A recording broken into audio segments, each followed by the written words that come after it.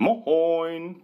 Ich bin's mal wieder mit einem neuen Video und heute mit einem Erfahrungsbericht zum Akkustaubsauger von Roventa, dem Airforce 360. Nach ungefähr vier Wochen Nutzungszeit.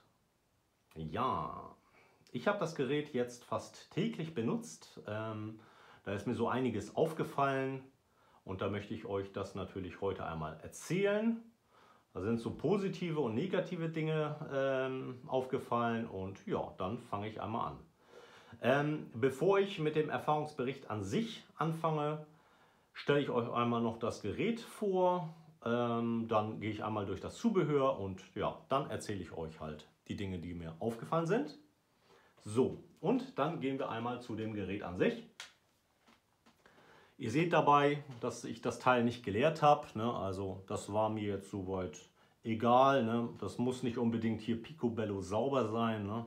Man sieht, dass das Gerät benutzt wurde und ja. So, also grundsätzlich ähm, zum Gerät an sich. Äh, optisch sieht das Teil aus wie so eine Laserkanone. Also wirklich sehr, sehr futuristisch. Da will man gleich hier losballern ähm, oder lossaugen. Ähm, grundsätzlich kann man sagen, dass die Verarbeitung sehr, sehr gut ist. Ne? Das Gerät besteht im Grunde komplett aus Kunststoff ne? und hat aber trotzdem ein stattliches Gewicht. Ne? Ich würde jetzt nicht sagen, dass es schwer ist, aber es wiegt schon, man merkt es. Ne? Ähm, natürlich ist das auch dem geschuldet, dass hier ein wirklich dicker Akku drin ist. Man sieht hier 21,9 Volt. Ähm, ja, und das Teil hält wie hier angegeben 20 Minuten, teilweise mehr als 20 Minuten.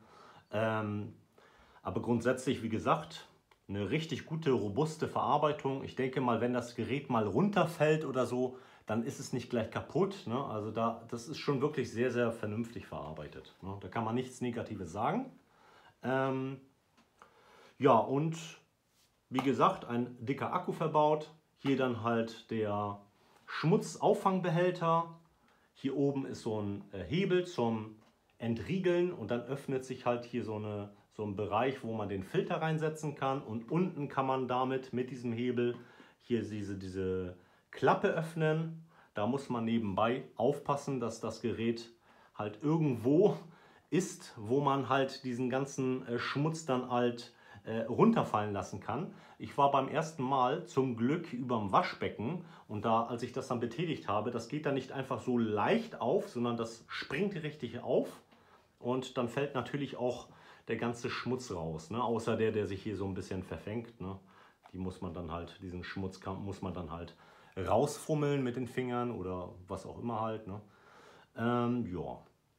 Dann hier ist soweit auch alles vernünftig verbaut. Hier hat man so eine Taste, eine Boost-Taste, damit kann man halt mehr Leistung ähm, anfordern mit dieser Taste. Und ansonsten hat man hier eben vorne diesen Bereich, äh, wo man halt die Verlängerungsrohr, äh, das Verlängerungsrohr, hier so eine so Bürstenaufsätze, da hat man zwei Stück von, oder eben die Bodendüsen anschließt. Ne? Und ja, ich habe hier halt diese Bürstenaufsätze rangemacht, um dann zum Beispiel auf den Tisch mal irgendwie schnell abzusaugen. Das ist wirklich sehr, sehr gut, ne, um irgendwelche hartigen, hartnäckigen Schmutzpartikel oder was auch immer halt, was sich so ein bisschen festgeklebt hat, abzubürsten. Und ja, soweit zu dem Gerät an sich. Dann kommen wir einmal zum Zubehör. Da fange ich einmal mit der Bodendüse an. Und ja, die ist auch gut verarbeitet, besteht natürlich auch aus Kunststoff, ne, auch wegen dem Gewicht natürlich. Aber soweit ist sie wirklich robust und gut verarbeitet. Nichts klappert hier großartig, außer eben natürlich hier diese beweglichen Teile. Da knirscht das vielleicht ein bisschen, aber das ist soweit normal. Ähm, ansonsten sieht man hier halt diese, diese Verriegel, äh, Entriegelungstaste. Ne? Äh, wenn man das Teil halt ans Rohr ähm, anschließt, dann verriegelt das hier und dann kann man das hier mit wieder entriegeln. Ähm, ansonsten sind hier solche dicken Gummireifen bzw. Räder. Damit kann man gut über äh, halt glatte Flächen, Laminat und so weiter fahren. Natürlich auch über Teppich, aber gerade so auf äh, glatten Flächen ist das dann sehr, sehr gut zum Fahren. Ne? Ähm, dann sieht man hier noch so eine integrierte Bürste, die dreht sich halt während der Benutzung. Ähm, und da komme ich aber auch gleich noch zu. Und dann hat man hier noch eine LED-Beleuchtung. Da dachte ich mir zunächst auch einmal, dass es eher eine Spielerei ist. Aber als ich dann halt Bereiche abgefahren bin oder abgesaugt habe, die nicht so gut beleuchtet sind, ne, ähm, da hat man dann doch sehr, sehr viel Dreck gesehen, was normalerweise immer ja, nicht abgesaugt wurde, ne? weil man die einfach nicht gesehen hat. Und das ist wirklich sehr, sehr gut, eine richtig gute Idee. Ähm, ja, soweit zu dieser Düse, der Bodendüse. Dann komme ich einmal zu der kleinen Schwester der Bodendüse, der großen Bodendüse. Ähm, das ist im Grunde das Teil halt in einem kleineren Format, ne, ohne LED-Beleuchtung, aber dafür eben auch mit dieser Bürste hier, auch mit dieser Öffnung und ansonsten soweit halt ähnlich alles.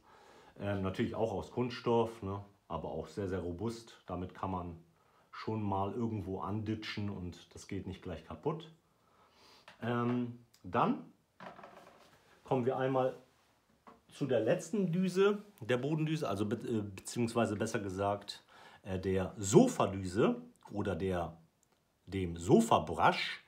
Ähm, das ist halt für Sofas gedacht oder Polstermöbel, was auch immer, oder im Auto. Und da sieht man halt hier, das ist keine Bürste hier, ne, sondern eben so ein, so ein Stoffüberzug ähm, und da sammelt sich halt sehr, sehr viel Dreck.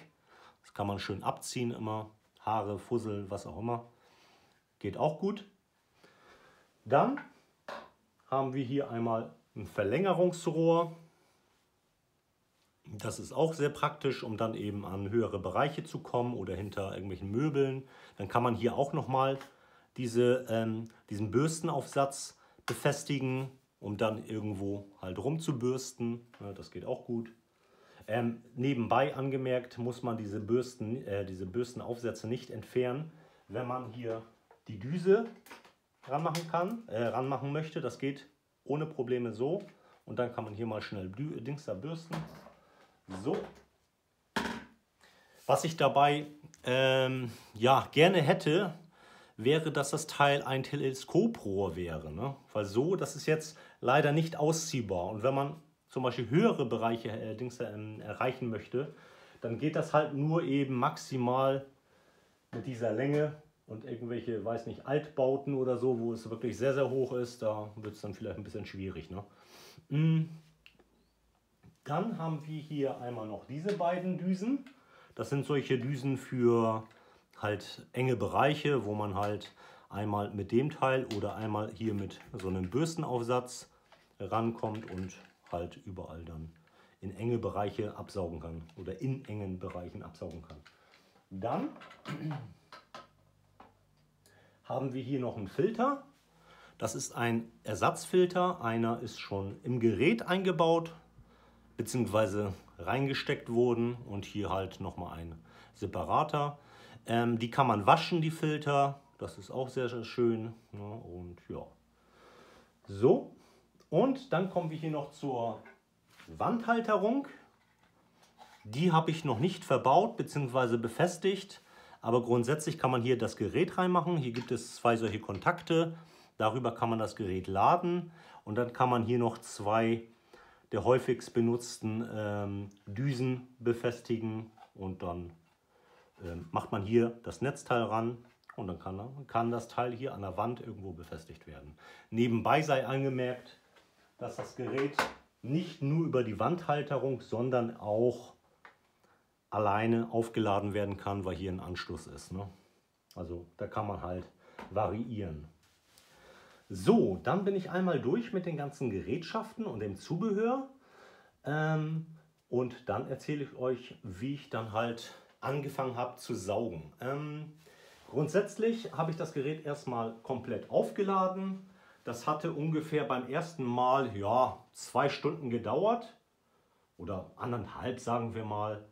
Und äh, nach dem Benutzen, äh, wenn ich schon beim Akku bin, ne, ähm, hat das dann immer so ungefähr, sagen wir mal, 30 Minuten gedauert. Ne? Und dann war der Akku dann meistens wieder voll. Dabei da sieht man immer, wenn das Teil lädt, hier solche blauen äh, LEDs, die leuchten. Und wenn er dann fertig ist mit dem Laden, dann hören die LEDs auf zu leuchten. Ähm, und ja, als das Teil dann fertig geladen war, habe ich dann halt das Verlängerungsrohr angeschlossen und habe dann fröhlich losgesaugt. Ähm, ich habe angefangen hier mit dem Teppich hier in der Wohnung und das ist so ein Langflorteppich, wo ich mir schon Sorgen gemacht habe, ob das überhaupt funktioniert, weil eben die Bürsten äh, halt auch verbaut sind und natürlich ein Akkustaubsauger, da geht man davon aus, dass er halt nicht so viel Power hat und so weiter. Ne? Aber ähm, da hat mich das dann doch verwundert. Es funktioniert und zwar sehr, sehr gut. Ähm, so gut sogar, dass ich halt seit vier Wochen meinen Bodenstaubsauger auch nicht mehr benutze. Ne? Ähm, mein Robby, mein Staubsaugerroboter, der fährt zwar immer noch fröhlich seine Runden, aber grundsätzlich ist das Teil jetzt hier mein Hauptgerät geworden. Insbesondere auch finde ich es sehr, sehr gut, dass man das Gerät einfach mal schnell nimmt und nicht extra halt ein Kabel rausziehen muss, anschließen, saugen. Dann hat man ständig dieses Kabelgewirr und sowas. Also das war wirklich sehr, sehr gut. So, naja, jedenfalls habe ich hier den Teppich abgesaugt. Das funktionierte schon sehr, sehr gut. Ab und zu mal hat man doch mal gehört, dass die Bürste sich so ein bisschen verheddert hat. Ähm, hier in der, in der Bodendüse. Aber das kommt natürlich mal vor. Ähm, und als ich dann fertig war mit dem Teppich und dann äh, in der Küche zum Beispiel PVC, mit dem PVC, es wurde alles abgesaugt und so weiter.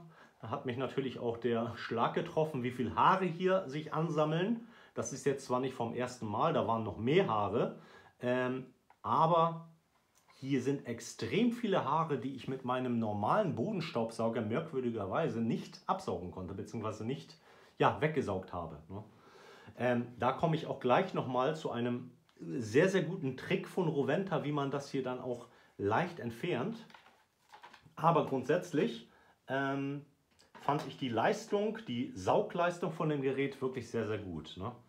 Ähm, dann habe ich das Gerät noch auf Laminatboden bei meiner Freundin ausprobiert und auf Fliesen. Das war natürlich auch wunderbar. Also wenn, wenn das Gerät hier schon auf dem Teppich nicht versagt und ohne Probleme absaugt, dann funktioniert es natürlich auch auf Laminat und Fliesen. Ähm, dann habe ich das Gerät auch im Auto ausprobiert und dann natürlich dann auch mit den ähm, Düsen hier für diese engeren Bereiche und da habe ich dann halt unter anderem die Fußmatte abgesaugt. Das war natürlich ein bisschen schwierig, weil da auch eben Dreck und Blätter und Gräser und so weiter alles äh, eingedrückt waren in den Fußmatten. Ne? Das waren solche Stofffußmatten. Das war natürlich ein bisschen schwierig, aber es hat schon fast alles rausgesaugt, ne, das Gerät. Ähm, dann habe ich hier noch die ähm, diese Sofabürste bzw. Sofadüse ausprobiert auf den Sitzen im Auto. Das hat auch gut funktioniert. Ähm, da kann man auch nichts Negatives sagen grundsätzlich.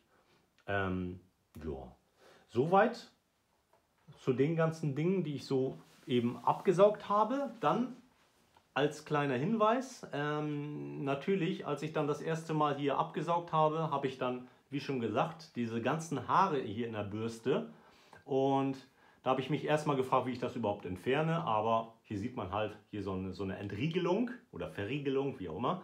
Die zieht man hier raus und dann kann man diese Abdeckung hier entfernen.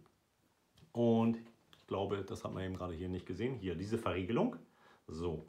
Und dann kann man ähm, diese Abdeckung entfernen und dann kann man äh, die Bürste hier aus der Führung entnehmen.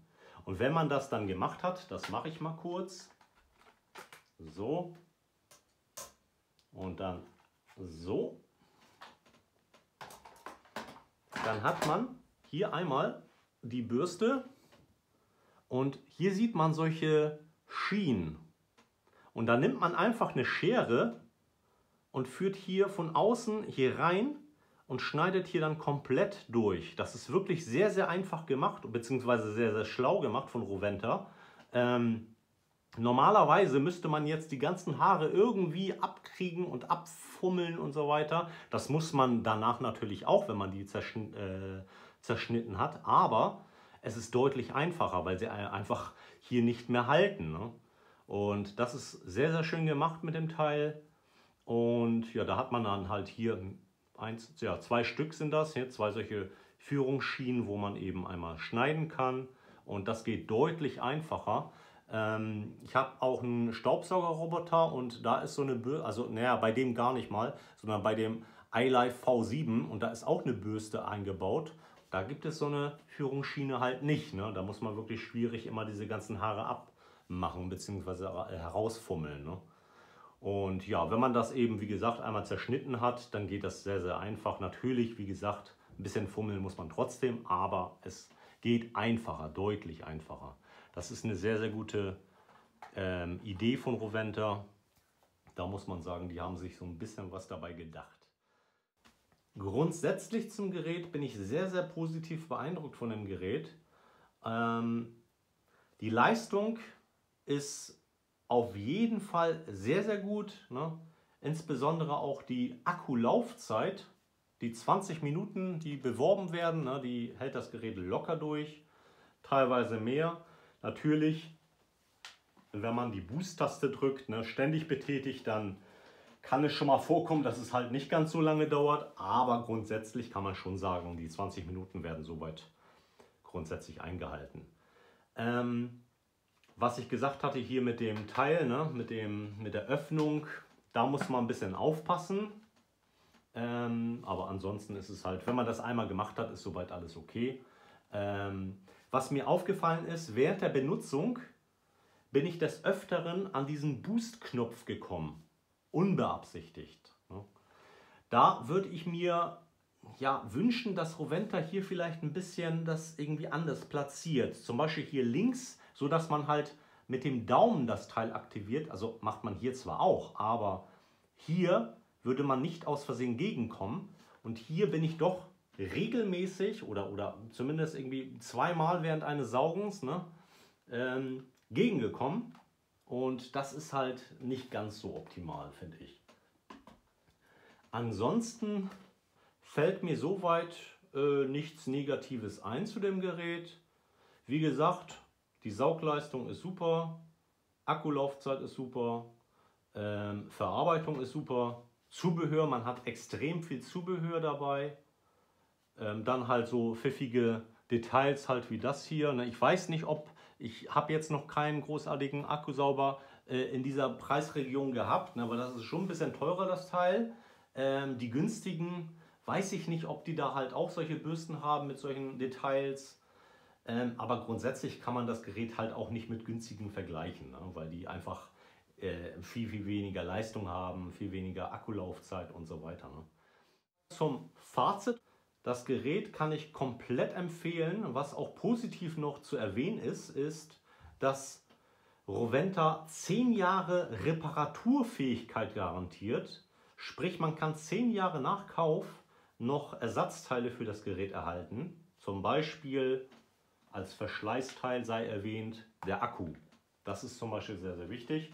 Den kann man aber auch laut Roventa ja halt einfach ausbauen. Ne?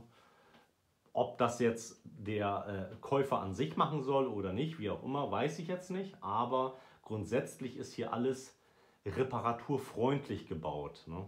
Und das kann man natürlich dann auch als sehr, sehr positiv bewerten. Insbesondere halt bei Geräten, die man, ja, ne, geplante Obsoleszenz und so weiter, ne, diese ganzen Geräte, die man halt benutzt und irgendwann mal nach zwei Jahren, wenn die äh, Garantie bzw. Gewährleistung abgelaufen ist, dann wegschmeißen muss, ne, wenn es dann nicht mehr funktioniert. Und das soweit, ne, da denke ich, geht Roventa den richtigen Weg. Das führt natürlich auch zu einer guten äh, Bewertung der Kunden ne, hinsichtlich der Roventa-Produkte und dann empfiehlt man sowas auch eher mal. Ne? Soweit zu diesem Roventa Air Force 360 Akkustaubsauger. Ich bin soweit durch mit meinem Erfahrungsbericht. Falls ihr das Video interessant findet, dann würde ich mich freuen, wenn ihr einen Daumen hoch und ein Abo dalassen würdet. Ansonsten bedanke ich mich fürs Zusehen und sage Tschüss!